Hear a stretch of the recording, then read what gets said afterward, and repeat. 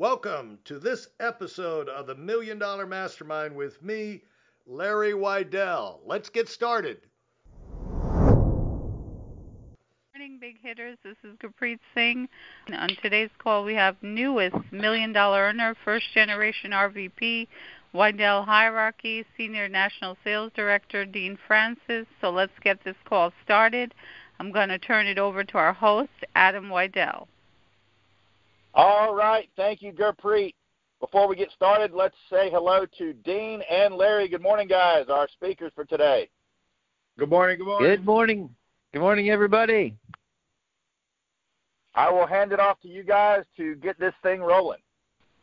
And the, the, if there is a secret of success, it is the more time you could stay close to, reading from, listening to, just being around uh, people at the top, the more you're going to pick up the thousands of little things they do in their ecosystem of life that produce and maintain winning.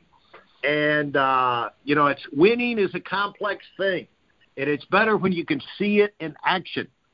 And greatness is caught and not taught. Fundamentals are taught. Greatness is caught. So thanks to all of y'all. The example, running around the country speaking, having people in, and then also especially being on this call. And what I what a thrill it is for me to have Dean Francis on, and we can. I don't know exactly what we're going to do today, but we really want to hear from Dean. Uh, you know what it's like. I saw Andy Young come out of Wake Forest. This is his first job, and he never left. That was 1980. And then I think Dean came in in what is it, 92 or three or four or somewhere there, Dean? The license was like I think January 90. 90. Okay, 90. So 10 years later, here comes Dean. Never really had another job. This is to start his career. Scary thing. Usually you change jobs three times in your first 18 months. And Dean had a toughness, a tenacity, a determination. But the big thing that uh, both of them had in their mind when they came in the door was, I want to do it big. I want to be somebody special. I want to make great things happen in my life. And no matter what kind of things you go through, no matter what kind of disappointments where you disappoint yourself, other people disappoint you, you have life falls on your head, like Addison used to say, meteors fall out of the sky and somehow hit you on the head. You can respond if you have that spirit. You want to do it big? And he said, Yeah, that's all I needed to hear, really. And so uh, I said, Okay, you work with me then. And then, uh, so Dean. Hold on, hey Larry, Larry, let me so let me let me interrupt. I'll tell. Yeah. Let me tell you what what uh, on my side, okay, what that was like. You know, I'm a 23 year old kid, and uh, my upline has all gone. Okay, so and uh, and most people have heard me talk about that. I talked about the PFN broadcast, but I've never met you. You're you are like already a giant. You're like off the chart, ridiculous. I mean, your income's probably closing in on two million. It's like 1990, and so I'm coming into your office like my knees are shaking, and uh, I'm thinking, what? How is this going to go? And uh, and so and of course there was like you know, uh, another RVP that was hanging around out of that hierarchy, and he was like, "Look, Dean, you know, Larry's not going to want to work with you. You know, you you you know, you just tell him you want to transfer over to me, and I'll take care of you, man." And of course, he was another probably broke RVP. I didn't know the difference, you know. I just, you know, and so because you couldn't have access to numbers as easy back then, but but I was like, okay, well, at least he cares about me, so I, you know, maybe I'll do that. I mean, I'm making a thousand to two thousand a month full time at this point. I am so broke and um, and so I come into your office. I'm like, I am scared to death. I'd never been to Greensboro. I'd never been nothing. Like I'm out here on my own in Richmond. Um, the guy that I shared an office with uh, ended up being a fraud. The company eventually had to terminate him, and by the way, five years later, he ended up in prison. This is this is how I start in the business. Okay, so anyway, and uh, and so uh, you're you you you know in classic Larry Weidel form, you sit back in your chair and you go, "So, what do you want to do?" and, and I'm like, "Well, I I I I've got this guy I want to. Uh, I thought maybe I should transfer to because he's like, well, why do you want to do that? Well, I, I I thought you probably only wanted to work with the big guys, and uh, and that's when you said, you and that's exactly what you said. You go, you want to be big? Yes, sir. And he's and you're like, then you work with me. And I, my eyeballs got like my eyeballs got so big, like, really? I mean, like it was the beginning of uh, life being breathed into me. And uh, at that next, and I want everyone to hear this, at that next event that you had in Greensboro, North Carolina, you you know you had us come and and Sarah and I walked the stage for something. You know, who knows? I mean, not much, okay, we weren't doing much. And all I remember was you grabbed the two of us and gave us the biggest hug. And I don't know exactly what you said, but it's like you're going to be big. You're going to be. It was the first time that anyone had breathed belief into us, and and you know um, we can never forget that as leaders. We have no idea where people are at in their life and that hug, that encouragement, the words that we speak into people, it's gigantic. It is. We we we, we think we're a lot of times we're caught up with our own selves, like oh I don't feel that good about myself, I'm not where I want to be. We beat up on ourselves, you know, all this kind of stuff, and we can quickly lose track that there's people coming into our business and on the outside they might look all happy and all that kind of stuff they put a smile on their face but our ability to breathe belief into people, this is what changes people's lives. No one had done that for me in my first few years. They weren't bad people, but no one had ever, they were overlooking me. Everybody was overlooking me. I'm just a kid. I'm just a goofball. I have no warm market. I, I'm struggling. I don't know nothing. And, uh, and so that was the beginning of new life uh, for both Sarah and me. Hey, Sarah, I'm how here. are you? I'm awesome. How are you? Well, you know, Sarah. So what's going? What can you tell people about the reality? Because we want people obsessing about doing big, Sarah, and doing what you guys did, starting at the ground and moving up. And like, you're going to go through all the things everybody goes through in life, but you can overcome them, and you can overcome. You can overcome them little, or you can overcome them huge, and you know, put them way in the your rear view mirror and by your success be able to inspire all kind of other people and uh, really fulfill your calling. Because i don't think it was an accident sarah that you guys went to liberty university and you know where they you know it's a christian school and ha- you know immersed in that culture. So you had to have a desire about impacting the world in a positive way uh, and so being able to get into a business and not only raise your family, take have great things happen, but be able to also get back to your original uh, core purpose in life and make an impact like you guys are doing to tens of thousands of people around the country. What what can you tell people about that and uh, from the mm-hmm. start? You know what, what what jumps to your mind when you you sit back and look at that? All right. Well, I think when we started, we were just thinking about you know, for ourselves, you know, just being able to pay our bills and not be stressed about money. Was very kind of a very small vision.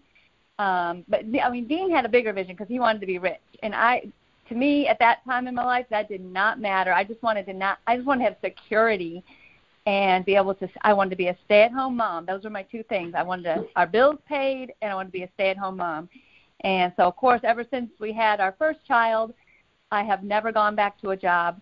And so that dream came true. I got to homeschool my kids and invest in them every day instead of putting them out there where other people were um, influencing the way they thought. And so I feel like that has been like the biggest thing for us that our kids think so much different than the people in the culture. And they have bigger dreams. They have a real positive outlook and they also um, have our values, which was the most important thing.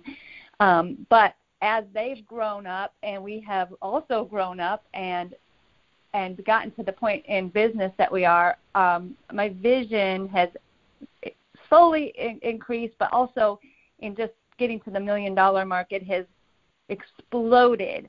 Because instead of thinking I just want to have a great family for myself, I'm seeing how ourselves and our kids can impact the whole world. I went to Moldova with my son on a mission trip this past summer, and who knows where Moldova is, right? Nobody.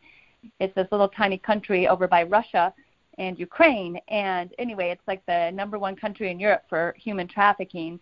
And I got a vision to I want to buy as many homes as possible to put to help kids coming out of orphanages to go into these safe homes where they can learn about um, their faith, they can get skills, they can get educated, and they're protected from human trafficking, and they can go out and make a difference in the world themselves. And so that is, like you said, this is not just about us having a lot of money. This is about us changing the world and all of my kids have visions for, of them for themselves to go out and make a difference in the world, which I don't think they would have thought that way. They wouldn't have had that kind of vision and dreaming if it hadn't been for Primerica.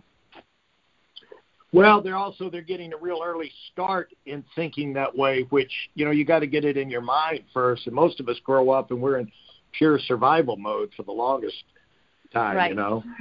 And uh, but what would you say about you know, we heard, you know, something that you didn't cover on the EPN. Folks, if you haven't heard the EPN uh, show, it's just last week. Go back, and we're not going to repeat the EPN show. But when you look back, is it tough? What, what would you say about the toughness of it? What, how, you know, Art always said the fine. There's a fine line between mediocrity and greatness, and a lot of it has to do, uh, Sarah, with just uh, staring fear in the face.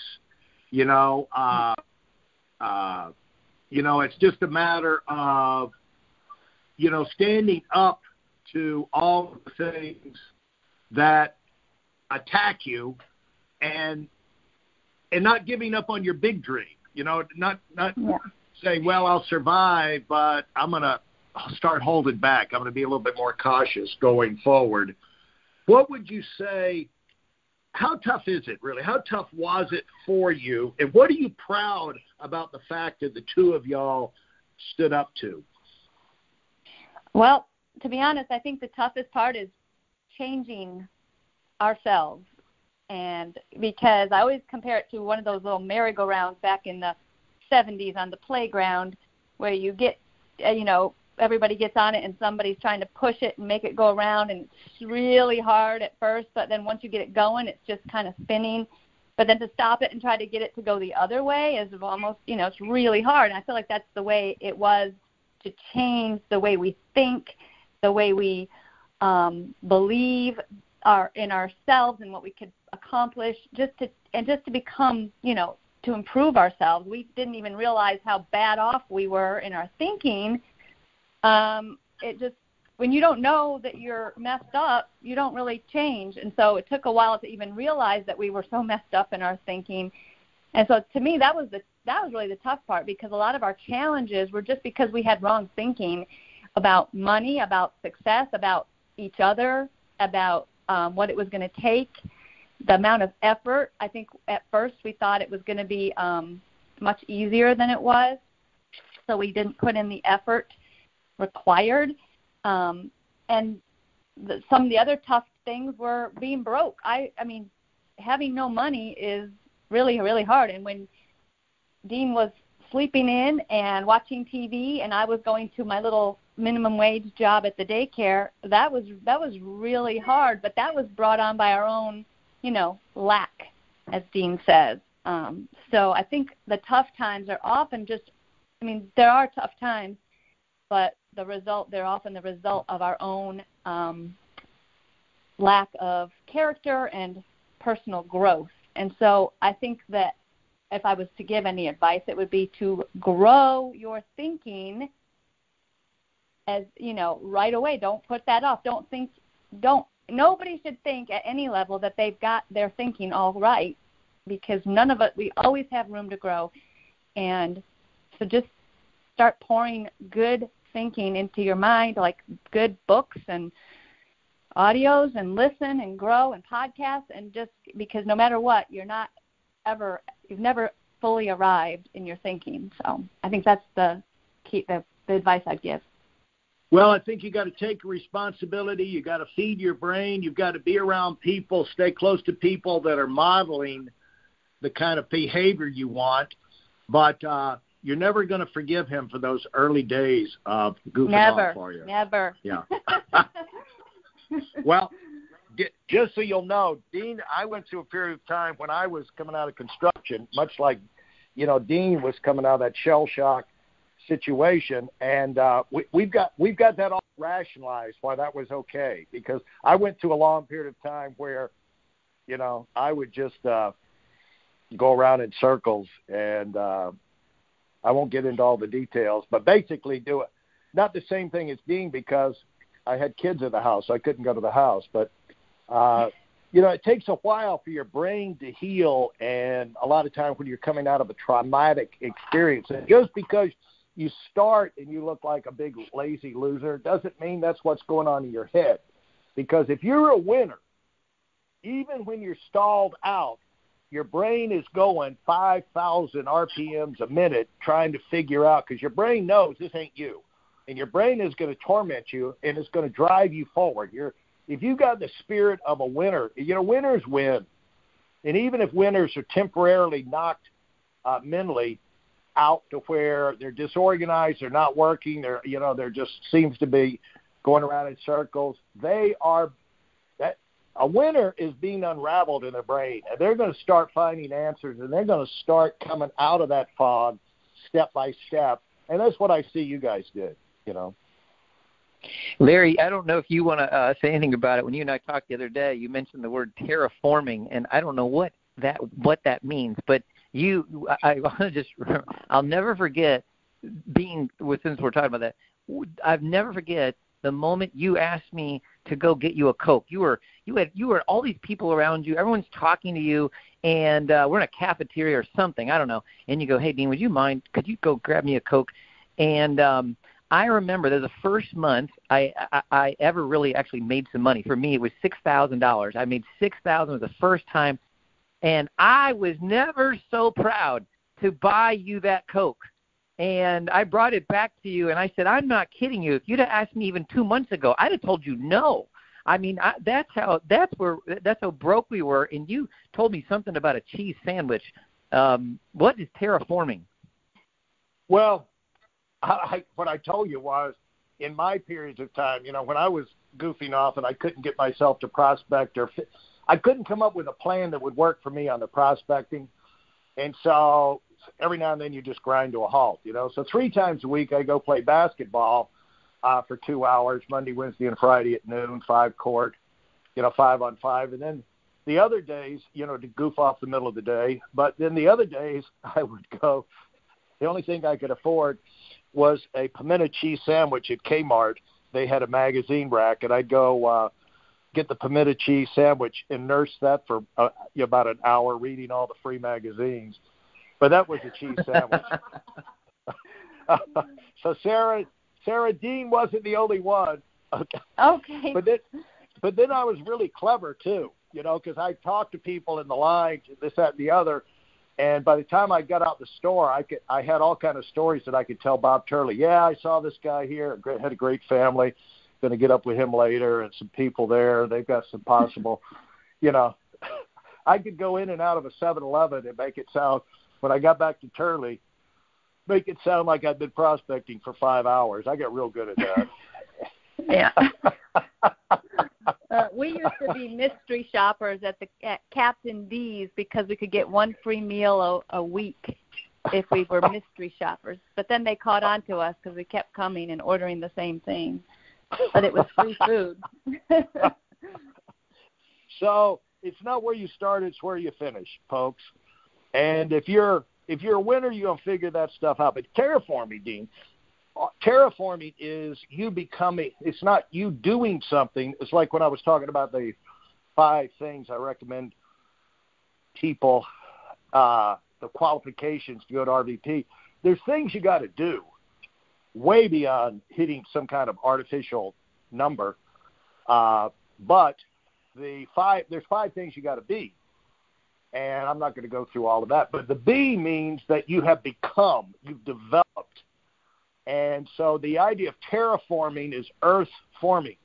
You become a different person. You have habits, you have ways you grow into, you build. When you build, you're actually building something.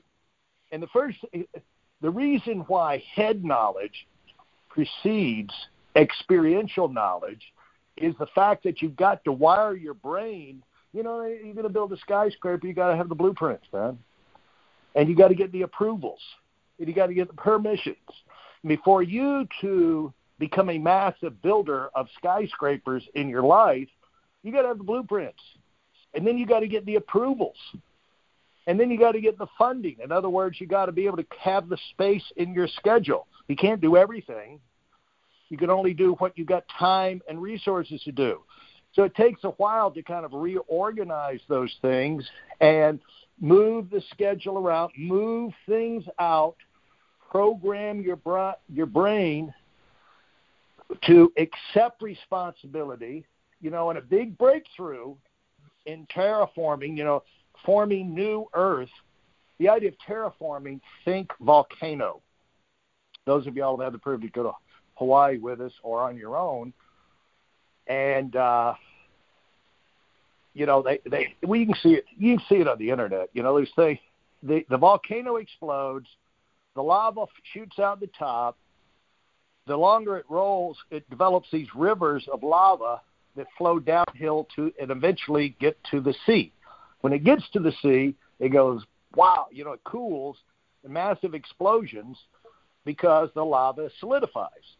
And so that's how the islands were formed to begin with terraforming, earth forming from the volcanoes. And so in your life, you know, in over 10 years, five years, they'll have 50 new acres, 100 acres, 1,000 acres from that lava that flowing to the sea, and the islands get bigger. And in your mind, in your life, when you are growing, when you're you're going through a terraforming process because you have things that you base your life on. You have these synapses are connections between neurons in your brain. Where like when you think this, you know, two and two is four. That's a synapse you learn. And so you develop these patterns of thinking, and once they're imprinted and they're really part of you, it happens like boom. Like when you're a kid, two by two, you know, two plus two is whatever and uh, I keep saying two plus two plus four because that was the first formula they programmed the original uh, personal computer with. Uh, that's how they proved it worked. And uh, the thing is that you you struggle over these things, this, that, the other, and you know, it's like your emotions get in it, and this is not what I was told. This is not what I thought to be true. But reality is a great teacher, Dean. And you go there, and then reality tells you, no, dumbbell, it doesn't work like that. It works like this. And then all of a sudden, uh, can I jump in right here? So uh, th- this is this is gigantic because what you just said was it is this whole terraforming thing, which is that's a new word for me, but it is it is you, you're talking about getting your mind to accept something. And so if I could share something that really helped made a big difference for us going to the million. And now in retrospect, I recognize as listening to you, like this has been the whole process. Like when I met you, I'd never double digit recruited before, and you're giving out these buttons for double digit recruiting, and Sarah wasn't going to let me show up at these meetings but too long without getting the dang button. And uh, I had to first accept, my mind had to accept that I could double digit recruit. And then I had to get to a point where my mind could accept that I could make a hundred thousand dollars. I went to the convention in December 1993 um, uh, back then, different uh, format and everything. And that was the first time I ever saw tons of hundred thousand dollar earners in the same place. And it got in my head I could make a hundred thousand dollars. Until my mind accepted it, I did not totally commit. Now, most people on this call, they've had that experience in some way. Well, it doesn't change. It doesn't change. You want to go to the next level? This has to happen, or it, you, if you do go to the next level, you probably go right back down. You you have to get your mind to accept. I remember when I started back over a new base shop, um, you know, eight years ago, and I never had a big base shop. I mean, I I was an SVP. I, I I'd got my income over 300 grand, but it was you know a lot of it was security and stuff. Nothing wrong with that, but but still I hadn't built. I had I had never built a big base. I was intimidated, and so you know talk about accepting. For me, uh, people I say this all the time. I looked at the leader sheets over and over and over, and I'm like, there's no way possible. All these people can build big bay shops and not me. There's got to be a way that I can do this. And it was getting my head wrapped around it and it was hard. It was kind of like stretching your brain. It was like working out. And uh and and in time getting myself to believe. And then i finally wrote 10 grand field training. I've never done that before. You know just each and every one well okay so on the million i'm sitting with ian pruckner two years ago and he had just gone over a million and what he did was crazy i mean he went from 300 to a million in like less than three years or whatever it was and uh and and i remember visibly him talking about what you're talking about right now he said, I said, I said, Ian, personally, tell me what have you done that's helped you with doing this? And he said, Dean, he said, I'm not kidding. He said, it was so much work to get my head wrapped around this.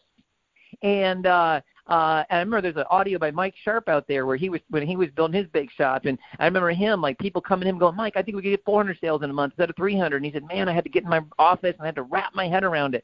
And Ian visibly, you could see that he had been wor- he'd worked on it, like it was stretching him to believe that he could actually make a million dollars when his income was probably at the time less than half of that and uh, and so and then he got uh, and for him, by the way, which helped with this was the book What to Say When You Talk to Yourself, and he shared that with me. Said, Dean, he said I got a, an affirmation statement. I said, say I started saying it over and over and over, conditioning the way I think. And I'm like, dang, I read the book. This is my classic, you know, history in Primerica. I'd read books and don't actually do them. And um and so and I'm like, dang, I can't believe it. I read that book. I thought it was awesome, but I never actually did it. You know, I, I pulled that thing back out and I started saying to myself every single day, you know, I'm leading the hierarchy to do this. My income is this. I mean, all the things that you see. So uh, by the way, I mean today, like I say, I earn 160,000 a month. Um, uh, I'm leading a team doing 600 by 600,000, and uh, we have over 100, we have over 1,000 people showing up at our big events. So I, I'm like saying this stuff, conditioning. It is it is work. And, and the other thing that Ian told me was he said for him it was a book called Breakout by Joel Osteen. He listened to it. He said like 24 times, um, like in a year, something crazy like that. Okay, just spoke to him. And we all have a book. I think you got to find a book, something that fires you up and moves you, because until we accept it mentally, until it comes into us, we're we we're it, it and we all have limits. Sarah just said we all have limits on our thinking. We have to identify what they are. I'm, there's tons of people on this call right now. Their incomes are actually pretty good. Well, you, just apply the same experience. Before you went over a hundred grand, I thought that was like, oh my gosh, a hundred thousand dollars in a year, wow. And then after I did it, I look back and I'm like, it wasn't that hard. It wasn't that hard. And I swear it's the same thing. You go over, it's like, oh my gosh, it's so unbelievable, a million, million, million. And you go over and you're like, back, you're like, it wasn't that hard. What I mean, so a lot of this is it's getting ourselves to accept it. Sometimes it's going to meetings, it's hearing other people speak, it's being on a call like this. You know, somebody else fires you up, says something. Um, these reality experiences you just mentioned, um, but it is a huge thing. But it's something we can do. We can all change. We can all grow our thinking, and uh, as that grows, I mean, the, uh, we're going to work our butt off. But usually that follows. If I believe I can do something, I'll work my butt off. If I don't believe it, I'm not going to work that hard. If I believe it, I talk different. When I recruit, I can do. Jake Frege just gave a clinic on recruiting. But if I don't actually believe I can go do something big, I'm not going to communicate the opportunity anywhere near where I, I possibly could. So uh, anyway, me. Yeah, here's here, Dean. I'm going to give you. The, uh, we'll get to uh, uh, Adam after uh, in a minute here, but I'm curious what he'd like to ask you. But Dean, you know this. I covered this particular thing. This is what. Hey, folks, this is why you listen to Big Hitter Call and you listen to big hitters, and you stay as close to them anywhere you can get them, anywhere in the country, because the more you're around, you pick up this stuff that only they can tell you. And the great thing about the Big Hitter Call is you could consistent, widespread exposure uh, because you got to program yourself for success. Listen, we're com- the mind is not like computers. Computers are incredibly primitive versions of the mind. But the way it is, we know enough that the mind has connections. You learn these connections about how to live life and how to succeed by the wiring, the ex- positive experiences you have. And foolishness and stupidity comes from not learning what works and what doesn't work and discarding the bad and going with a more profitable option. That's all you really do. It's like I was talking to uh, a guy down the street runs the big Cosmo that runs the big uh, a spa, and he said people ask me how I manage all these people. He said I don't manage people, I manage situations, and uh, just work them out as I go through. And then you know a well-run business is going to grow. That's my observation over life. But Dean, when you you listen to the big hitter call, so you can unravel. People say, you know, build your business. Well, first of all, you got to build it in your mind, and you build it with a plan. What is it? Again, how? And here's what you do on that. You go to how far you can see. Latch on to how far you can see now. Latch on to that. Don't worry that other people can see further for themselves. You latch on to how the biggest thing you can see for yourself right now and believe. And so that's that's your goal. Then you start putting together a blueprint. Who's done it? What can I learn? Now, in terms of Dean, I don't know how to do it. We none of us knew how to do any of this stuff when we started. I mean, you you know, when you were born, you didn't know how to uh, eat you know, and you learned, oh, it's not that hard. You stick your spoon in the mouth, you know, and so it's hmm. these things become you unravel success, but you got to get the plan first. What what you want, and then you get your blueprint. Then you get your like your permissions. You get yourself to buy into it. Then you move your schedule around with your resources where you can put the time and energy, and then go to work and then it's just a log. There's a logic to winning. There's a logic. It's not magic how these people become million dollar earners or people go to the top of any profession. It's not magic. It's a process. It's a process, and that's how it works. Dean, you want to jump in on that? Let's yeah. see what. Yeah, you. Yeah. You often used to say, "Go with what you got, fix it on the fly." Um, yeah. And I I love that because I don't have to be perfect. You always said, you know, you don't have to be perfect. You just need to grow. You know, um, the best definition I've heard of winning is when you said winning is improving. I just got to get better. I just got to grow. You are a beast about growing every freaking month, and I still haven't been able to figure out, you know, how you did that. But you know what? I can still grow. I can still get better. I can still go with what I got you know, we all live in different areas. Our demographics kind of control some of these things too. And you got to just go. I'm I'm kind of like this freak person who has been had has had massive exposure to you and your thinking on building and so forth. And at the same time, I'm in an area demographically that's kind of done really well with securities. And so I've got this mix of two different businesses going on. I just I what I have found in life is you just got to win. Okay, you just got to win. When I was coaching travel baseball, I had a mentor, and he said, Dean, let me tell you what your strategy is going to the tournament this weekend. I said, What is that, Coach?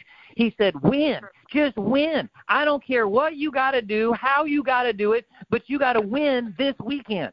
You got to, and what he was trying to say was every time you win, you learn more lessons, you attract more of the right kind of players. The, I mean, and so even going over a million, some of that was just like when I went over a hundred thousand. It was like I felt like I owed it to my team. I was taking it personal. I was like, listen, this team deserves a million dollar earner. I want to expand people's vision. I think you know it, it, when we win, our people win. I mean, it's like it is incredible. And I one more thing on this thought because I I'm gonna I'm gonna tell on Omar right here. Okay, you learn the truth from people's spouses. Okay, and uh, you know Omar, um, you know when he spoke at that last convention, he said people ask me all the time, did you did you actually see yourself or could you believe that you're going to do this one day? Like look all the success you're having and you're closing out at the. And he said yes. He said, Yes, I did believe. You know, he said, It doesn't surprise me. He said, Because I imagined it for 20 minutes every night. And I remember when he said that, I was like, Who does that? Who actually, I'm like, I've never done anything remotely close. That's intense. And so I um uh he picked me up at the airport recently, went and watched the Lions beat the Dolphins, thank you. And uh anyway in Miami. And so uh uh, anyway, picked me up at the airport, and he's cranking Carrie Underwood, champion.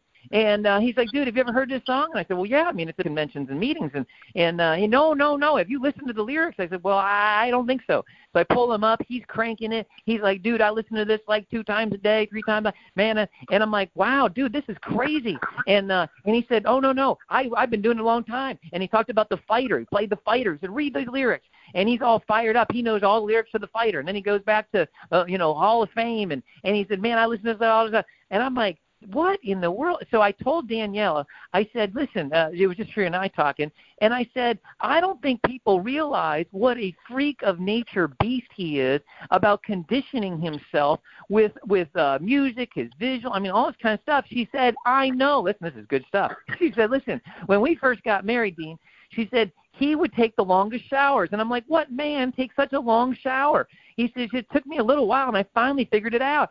He's reviewing his goals and dreams every morning in the shower.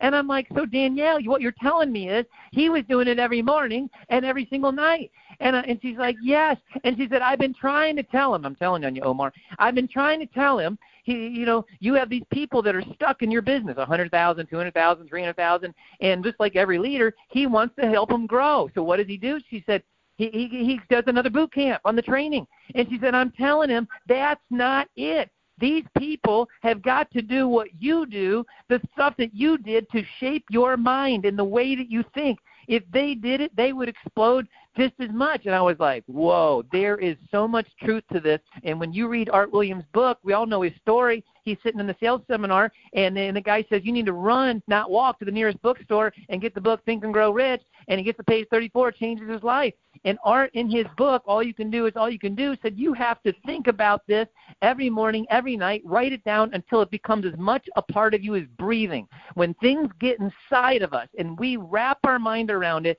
and we convince ourselves it's possible, we, we become unstoppable. We work like dogs, we do whatever it takes to go win. And then winning compounds and attracts more success. Dean, I've been working, as you know, for two years on an online video course for, uh, explaining uh, serial winners. And uh, one thing, I've got a whole video in the fourth week, the third video. I got like five weeks of uh, packages of video. I sent out five each week. But the the fourth one, which has to do with finishing, is as you approach the finish line, you get it. You've got to be when you get on track for you to finish big and to stay on track through the finish line and go on to bigger and better things. You've got to be. It's one thing to learn from other people and listen to podcasts and books and have friends and go, but you've got to become your own best coach. You've got to be it's self coaching. And the people who win know how to coach themselves. No one knows you and your mind better. No one knows your weak areas. No one knows where you need support. No one knows where you know where you're likely to fall, but you know. And it's up to you to manage yourself. Bottom line, you can't people go around like groupies expecting the next speaker to solve their problems. That's great, but you go to that speaker looking for something specific. You don't just kind of go in and say, Help me, help me. No, you've got to be thinking about yourself. Where do I fall down? Where's my weak area? Where, what, what do I need to fix next that could cause me to leap forward? And you got to be specific about how you coach yourself and make it a major effort because until you get, you know, you've always got to be much, you know, you always got to be 10 to a 1,000 times more programmed than your organization if you're going to lead your organization. They got to have a leader that is is like titanium. They got all this stuff worked out. So when things come, the leader knows instantly what to do. You know, all those connections are in the brain. You know, they know like this happens, we do that. Boom, boom, boom, boom, boom. No, like go home, go into a depression, take a month off, have a slump, and then come out of the depression. And now the leader's going to go in and try. No, you got to do it instantly if you have a team. So, uh, Dean, I think this is stuff people need, don't you? Yes. Uh, another way to say it, I think, is you got to build privately if you're going to build publicly. I mean, champions are built um, when nobody else is looking. And what we're doing on our own time and being our best, being becoming our coach, you know, reading, seeking out answers, but never um, never backing off these big standards, never backing off that if I'm going to get big, I, I've got to build a big base shop. I've got to put, uh, I, I've got to, you know, I've, you know, and, uh, uh, not, well, just not backing off. Whatever that next thing is, never. I mean, it's intimidating when we first see it. When we that next goal, that next dream, it's intimidating, but not backing off. Work on, work on this stuff um, it really does pay off. And I, I, by the way, I got a couple quick things that you you did for me over time. You know, you I started the call by saying you breathed a lot of belief into me, which was huge. But you were always there to provoke me. You were always there. Like you know, we had a conversation one time at that camp, and uh, you just said, you know, Dean, listen, I appreciate everything, but I can't steer a parked car. And you like walked out of the room, the door slammed. You know, you weren't doing it mean. It was just like but you know, it was true. I mean, you said on the call a couple weeks ago, you said until you're doing thirty by thirty thousand, you're not doing anything.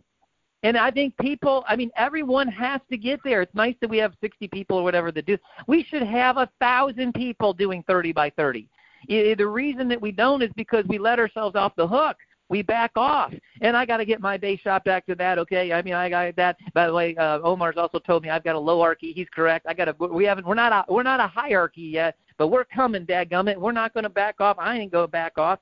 And uh, uh, um, but I think another time you said to me this. You said, he said, Dean, how much longer do you want to be a face in the sea of mediocrity?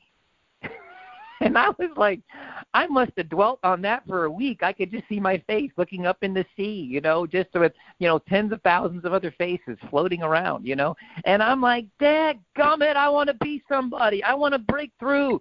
You know, even Sarah, who said that she always kind of struggled a little bit with some of the vision. She hated going. She hated like when we, we did those trips years ago, and they would split us up. The best people went to Hawaii, and then, then the people didn't make it went to San Francisco. She hated that. She hated going to the second place play. Uh, uh you, you know, getting around. You got to get around people that provoke you. You know, Dean, I've always done that out of love. yeah. Everything, everything I do, everything I do or say is provoked by love. So, um, Adam, do you want to jump in? Yeah, Dean, talk about uh you know, we talked about with some of the, some of these guys before, but switching gears a little bit, um, and I know I've, I've heard a lot of it. Some of the other people have, but talk about a couple of things that you've been able to do, you know, for yourself and your family, friends like that, that you would have never been able to do, never even dreamed you'd be able to do before, uh, you know, without Primerica. Talk about that a little bit and uh, tell some of these people that how some of these dreams have become realities, and actually dreams you probably didn't even know you had before. You know how your vision's expanded yeah. with the uh, income and all. Yeah, and, yeah, I'll give you and one. Dean, and Dean, the things you're most proud of, you know, the thing that really thrill you to the core, you know, that type thing. We bought this, uh, yeah. we got this trip, we did that, the other well, the stuff that really, really causes you to feel like, you know, you lived a life of value, you know, because you were able to do this, you know. Yeah, well, you know, there, if you got kids, right? I mean, there's nothing that fires you up more than um, your kids, and and I mean, I think that's just what uh, this this has allowed us to do. I, you know, over the years, I mean, we've been able to pour into our kids if they needed a private instructor for this or that or whatever it was that would help them succeed in whatever it was that they were doing, and to see your kids go out there and and achieve things, goals that they have, and feel good about themselves, so that they dream even bigger and they learn great lessons. Um, that's where Sarah was referencing earlier, but um, I'll give you more specific. Um, you know, not about uh, a little over a year ago.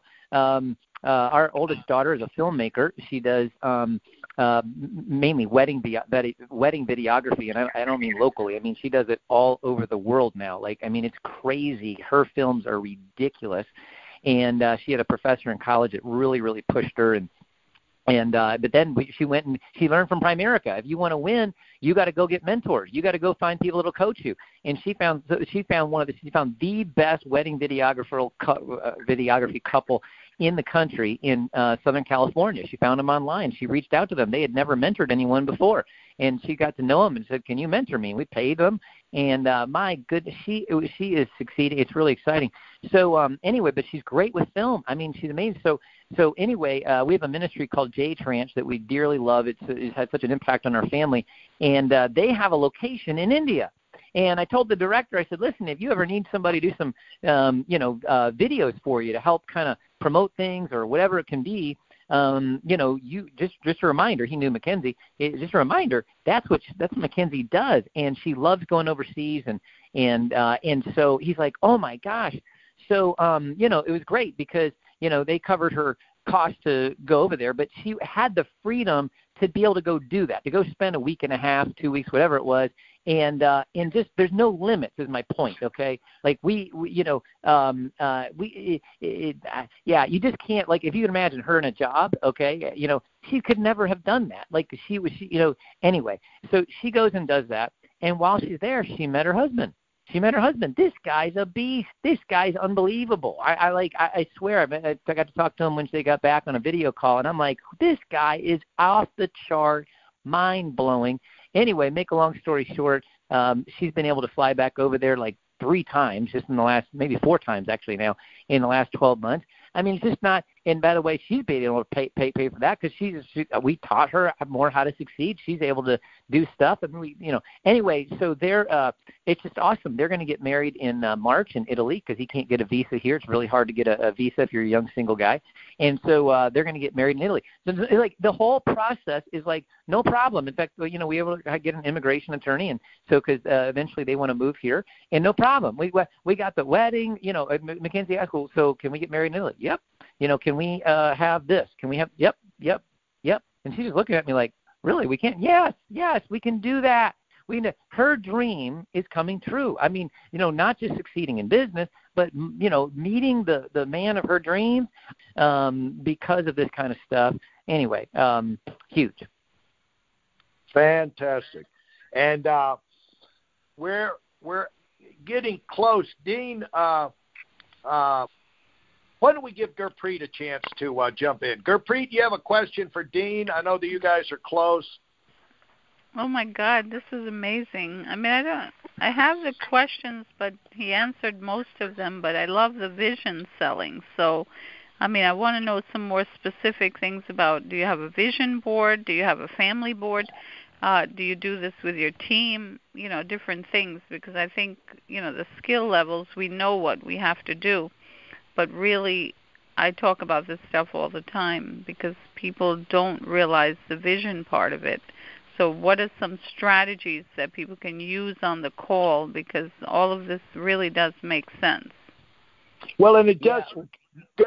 Gurpreet nails it because it all starts with a vision. You know what? What in the world is it that you think you're put on the planet to do right now. And that will be the thing that you can get most excited about that has some chance of being possible. And it's as big as you can imagine, you know, and that's the size of it. That's what it is, is what turns you on more than anything else that has some realistic chance of happening. And then how big? How big can you imagine it?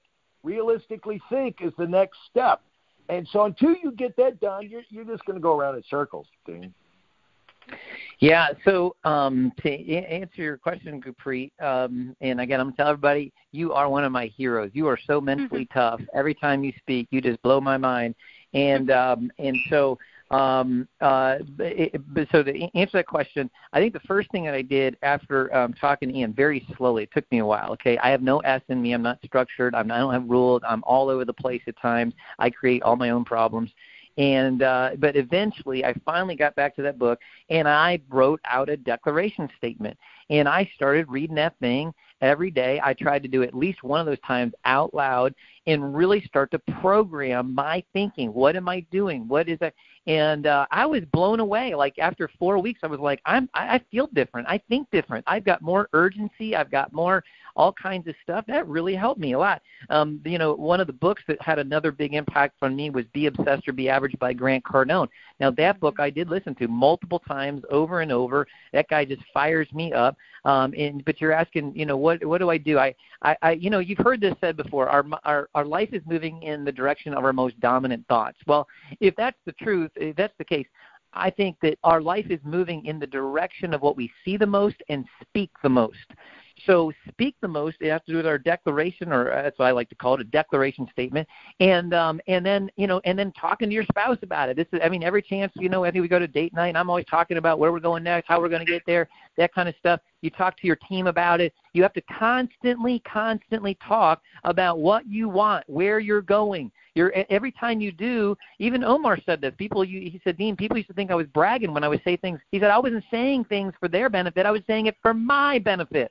We've got to speak our future into existence. We got to hear it uh, and then seeing things. So for me, there's nothing special, Gurpreet. I haven't done a vision board. I've seen people do that, but I do. When I walk into my office, I particularly my office in my house, I got lots of stuff up that just reminds me books, pictures, um, things on my phone. I got my sapphire ring on the phone now. I mean, like, you know, I mean, just things that constantly stretch me. My big thing, okay, for me, I look at every freaking day is all these people that threw first in the top, you know, 25 in the country. And I actually took my picture and put it over Mario's and wrote number one, Dean and Sarah Francis.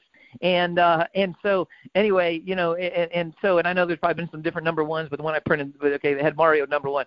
And so and I'm like, I look at that and I'm like, man, that's what I want to do you know i want that's what we, i mean and so we're charging again you know with our team and you know and so uh uh anyway i hope that helps let me tell you guys any area you you got to be specific to be dynamic to to to move forward. And here's the deal: any area of your life where you're fuzzy, what you want, with your finances, with your health, with your neighbors, with your kids, and each kid, and their plans for each kid and your spouse. Every area of your life that you're fuzzy on what you want, you will get mediocre results.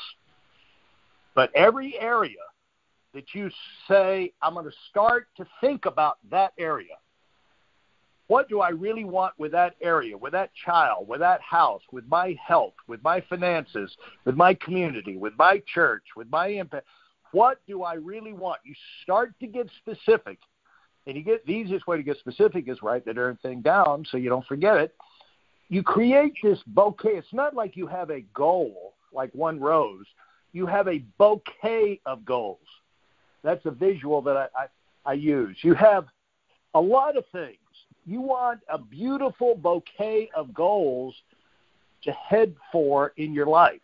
Lots of beautiful, fragrant, wonderful experiences that you can enjoy, and they work together. It's not one works to the exclusion of others.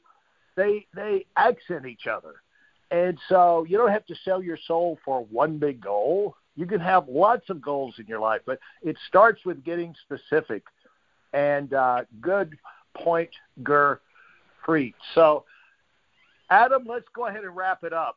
Let's go around and uh, maybe we can bring Jake in on. All right, let's go with Gurpreet, a final word, and then Jake, you want to get ready to uh, unmute yourself. We'll get your final word, and then we'll go with uh, Larry and then Dean. Okay. Hey, yeah, no, I mean, like I said, amazing call, vision, selling, uh, you know, specific things, and you know, just hearing what you heard from Omar. You know, these are real things that can be used to build our business. So I loved the call, and I loved, you know, the energy and what what's going on right now. So definitely was amazing. All right, Jake, you want to jump in there? Yeah, no, it's absolutely amazing, Dean. Obviously, uh, one of the heroes of the company, man. Just to hear your story uh, you and Sarah just such an inspiration to everybody. And I think uh, the main takeaway it was funny. I, I got the same thing, which is the vision. Uh, that no matter where you were at, you know you, you knew the vision. You were always a, a student of the business, looking at the scoreboard, uh, constantly stretching yourself, getting around people that were bigger. You know, they say if you're the highest paid person in the room, you're in the wrong room, and uh, you were just always uh, constantly around other people that could stretch your vision and put you to the next level. And then uh, just your energy your excitement and the fact that uh, the million dollar income wasn't a stopping point, but just a starting point of what you really want to do and accomplish. So you stretched our vision, and uh, just an amazing call for everyone that listened in. You know, the thing is, you can tell there's one simple test for telling who's going to move up in the company. And the people, Dean, who are going to move up in the company, the first thing they do when they get up in the morning is they go check the competition scope scoreboard and see who's number one. And see where that top 25 and see what's happening there at the top. Because if you're you know if you're going to be an MVP in a professional sport you know what's happening with the top people uh, in other leagues and other teams. I promise you LeBron knows what's happening with the Golden State Warriors all the time and uh, with the Celtics and Michael Jordan always knew what was happening with uh, Magic Johnson and Larry Bird when they were still in the league. You know, they all know exactly what the other elite people are doing. Uh, Tiger Woods always knew what Phil Mickelson was doing. And they, you know, people who are going to excel and make up their mind to grow and get better cannot help themselves from watching the leaders. Because otherwise, what are you looking at? What are you looking at when you wake up in the morning? If you're in this business and you want to be great, look at the leaders, don't you? So go ahead, Adam. Back to you. You want a final word, and then let Dean say something. Uh, his takeaway. Yeah. Yeah, Dean, go ahead. Give your last word there. Well, let me just give this quote here. This is from Tommy Newberry. Uh, the book is called Success is Not an Accident. Speaking of Bill Orender, this is one of his all time favorites. Um, and uh, it's one of mine. And I will go through it again this December. Our whole, our whole family will. And uh, it says this He said, The most successful people in the world are those who have taken the time to figure out exactly who they want to become and what they want to achieve. Then they invest the hours of their days in the activities consistent with these ideals.